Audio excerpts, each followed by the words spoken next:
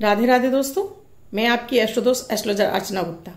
आज आपके लिए विशेष जन्माष्टमी का एक उपाय लेकर आई हूँ। अगर आपके बच्चे का भी पढ़ाई में मन नहीं लगता है या पढ़ा हुआ उसे याद नहीं रहता है या उसे बार बार नज़र लग जाती है तो आप आज कान्हा को एक मोरपंख अर्पित कीजिए।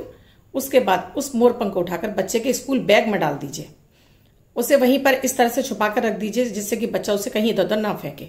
फिर आप देखेंगे कैसे आपका बच्चा पढ़ने लगेगा, पढ़ा हुआ याद रहेगा और आप खुद हैरान रह जाएँगे।